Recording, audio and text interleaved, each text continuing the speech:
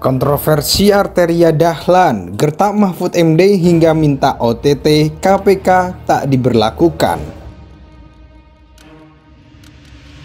Di permusuhan, tidak ada permusuhan antara Menko Polhukam dengan itu tidak. Saya bantu Bu Sri Mulyani. Ya, saudara tinggal aja. Mau jelasin. Sudah tinggal cari aja. Ini di data yang saya sampaikan nih. Ini ada semua kok ini nih. Saya kasih nanti. Pak Menko, sebentar. Belum belum Pak dikasih. Arteria, Menko. kalau mau kasih kasih Pak Arteria. Tadi Pak Menko mengatakan datanya Bu Sri Mulyani tidak benar. Itu Wah, saya jelaskan sekarang. ya sebentar sebentar Pak, saya mau nanya ya. Kemudian data primernya sama. Ya. Nah, dari paparan ini aja saya dari tadi mencoba, Pak. Ini samanya di mana?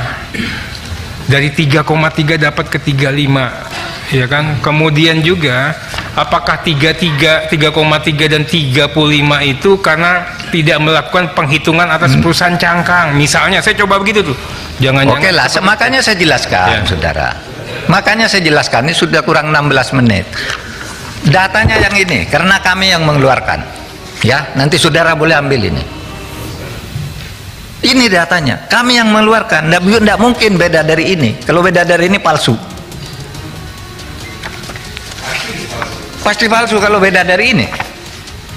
Pasti, karena kami sudah mengeluarkan di tanggal sekian tahun 2009 sampai yang terakhir itu. Nah, Itu datanya rekap atau dokumen itu, Pak?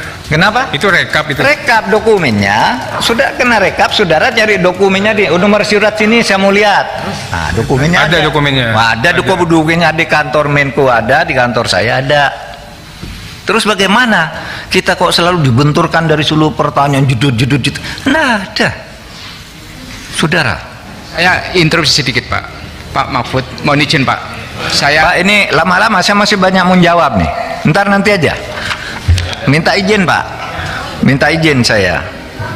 Saudara, tadi ada yang bertanya, kenapa sih Pak Mahfud tuh baru sekarang kok baru ngomong sesu- sesudah apa eh, 12 ta- 14 tahun. Lah saya baru jadi Menko 3 tahun.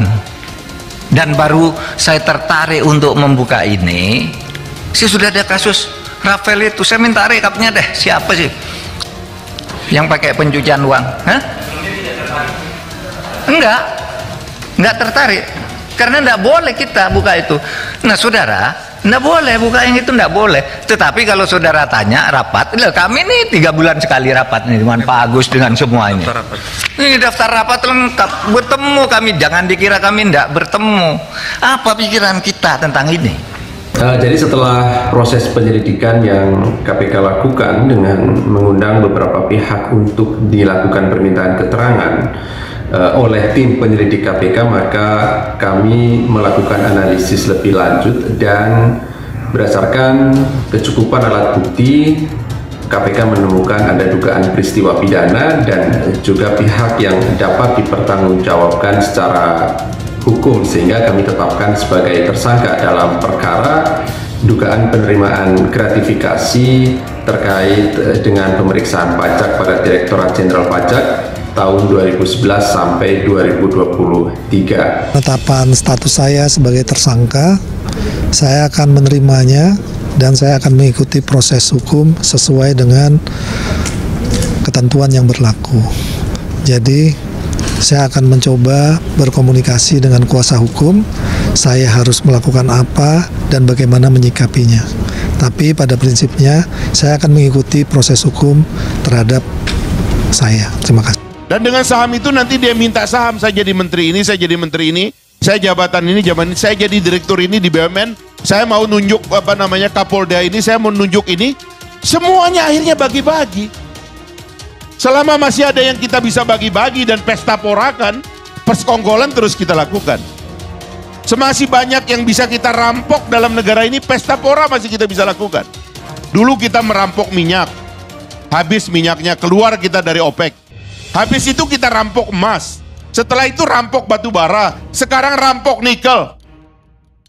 Kan itu yang akan kita lakukan terus-menerus.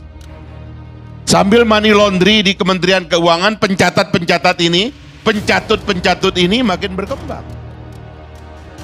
Nama Arteria Dahlan belakangan ramai diperbincangkan setelah aksinya pada diskusi antara Komisi 3 DPR RI dengan Menko Polhukam Mahfud MD. Setelah ditelusuri ternyata cukup banyak kontroversi yang muncul dan berkaitan dengan namanya. Berikut 5 kontroversi Arteria Dahlan selama berada di kursi DPR RI.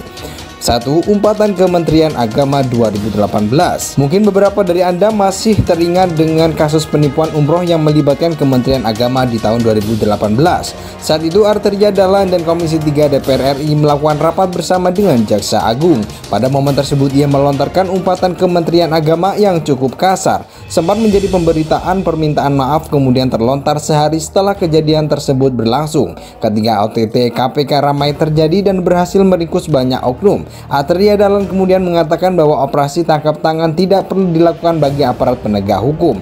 Aparat yang dimaksud antara lain adalah polisi, jaksa, dan hingga hakim.